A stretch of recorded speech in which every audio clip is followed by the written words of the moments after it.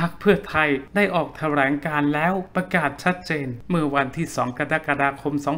2566 เขตสรยุทธสุทนาจินดากรรมการข่าวก็ได้โพสต์ข้อความระบุไว้ว่า เพื่อไทยแถลงเลขาการพักประเสริฐจันทวงศ์ทอง ระบุไว้ว่าพักเพื่อไทยหารือก้าวไกลร่วม 2 ชั่วโมงจากนั้นพักเพื่อไทยได้โทรแจ้งแกนนำแต่พักร่วมในการจัดตั้ง จากนั้นนายแพทย์ชลนาสีแก้ว หัวหน้าพักเพื่อไทยก็ได้อ่านแถลงการเริ่มต้นใหม่ร่วมผ่านหาทางออกให้กับประเทศพักเพื่อไทย ก็ขอถอนตัวจากการร่วมมือเดิม เดินหน้าจัดตั้งรัฐบาลร่วมใหม่ เสนอชื่อนายเศรษฐาทั้งนี้พักเพื่อไทยไม่แก้ไขมาตรา1นึและก็ไม่มีก้าวไกลร่วมรัฐบาลด้วย